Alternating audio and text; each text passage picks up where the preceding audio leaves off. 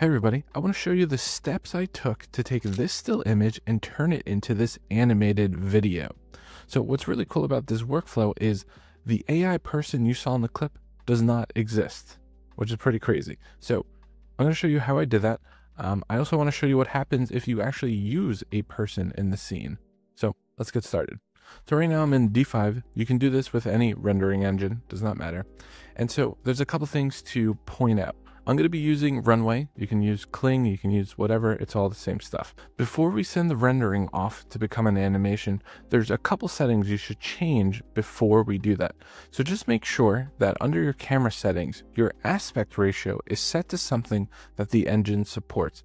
So Runway, for example, supports 16 by 9, 4 by 3, 1 by 1, and then the inverse ones for your portrait.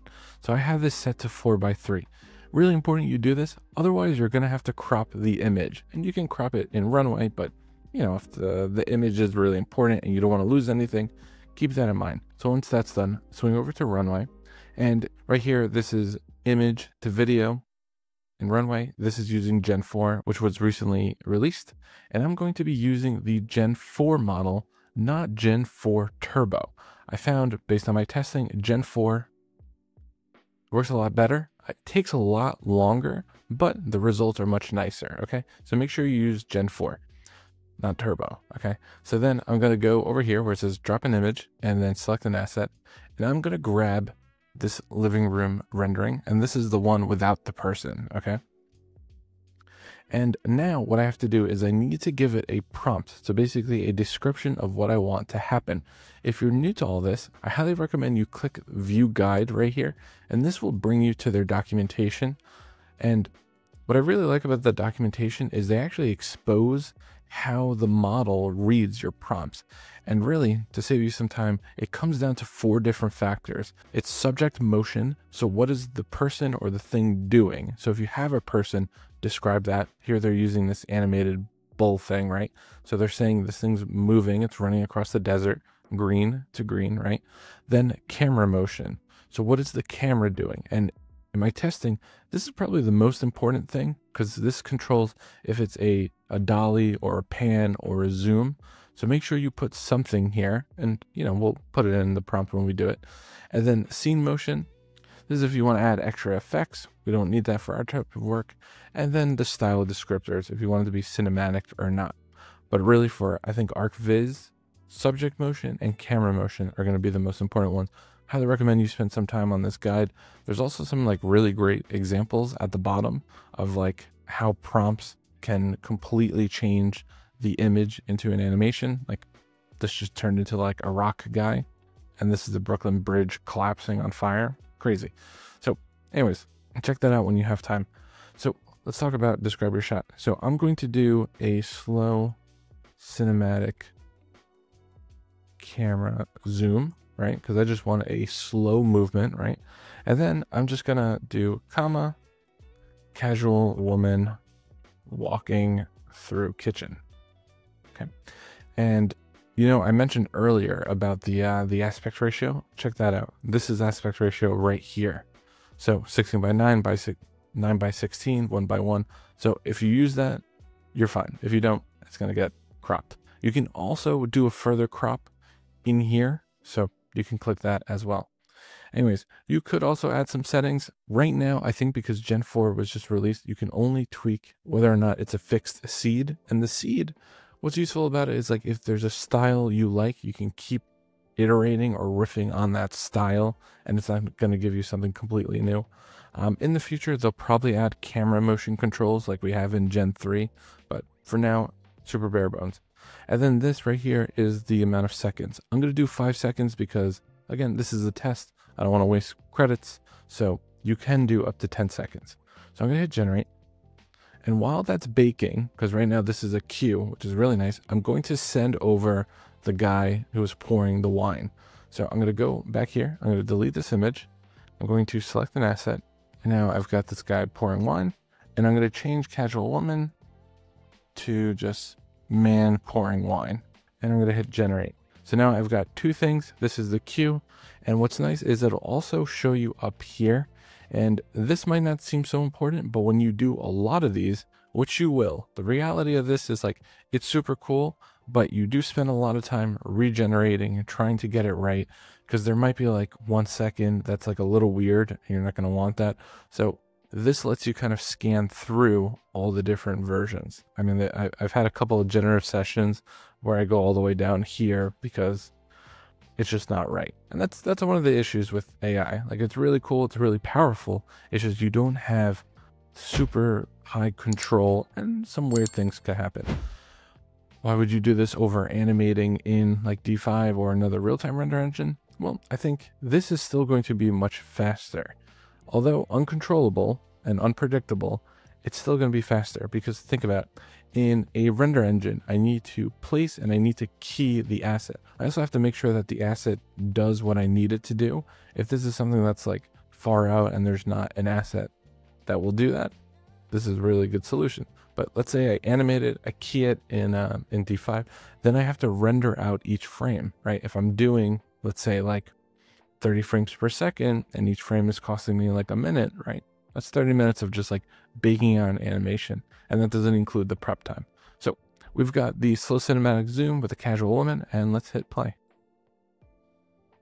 And there she is. And she's just walking around. And that's it. So there's a couple things I do want to point out, which is like conceptually like insane. And I don't think people appreciate it enough, but pay attention right here and right here. And then look at the starting image. Look right here and here.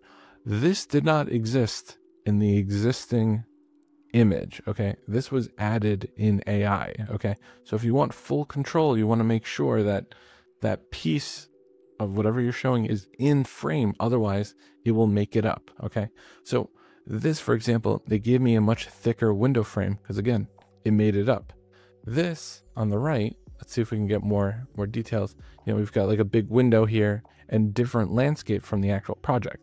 Let me swing over to D5 and just show you. If I were to move forward, this frame would actually not kick in. And this is a completely different outside area. And I'm not saying it's bad. My, my point here is to convey that this is generated, okay? It's not real, okay?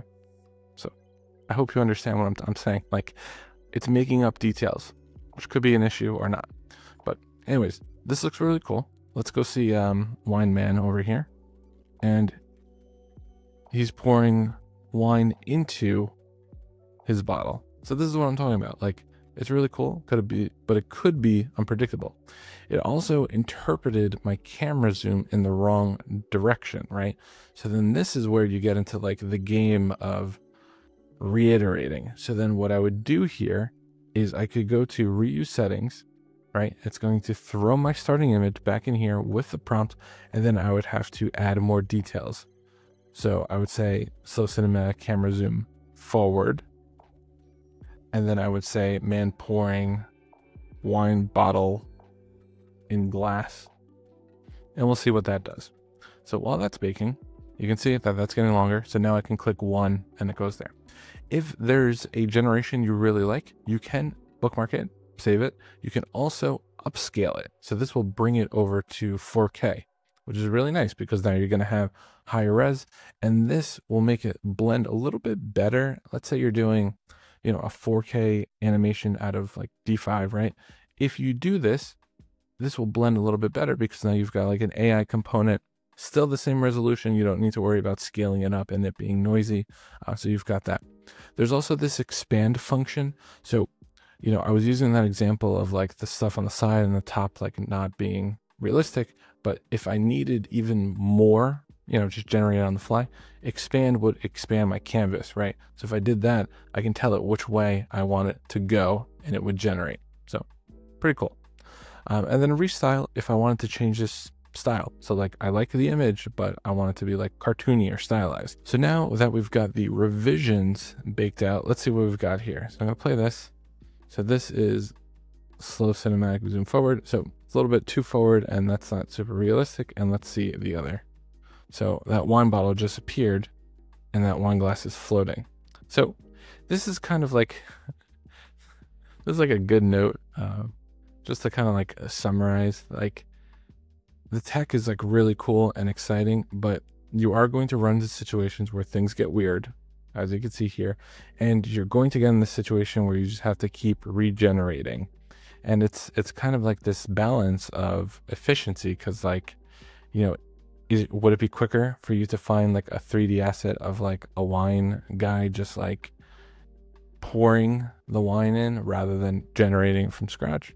You know, yes or no. It's just like there might be a cost with trying to find an asset like that. And that could be, you know, anywhere from like 30 to like $300 with the with how animated models are.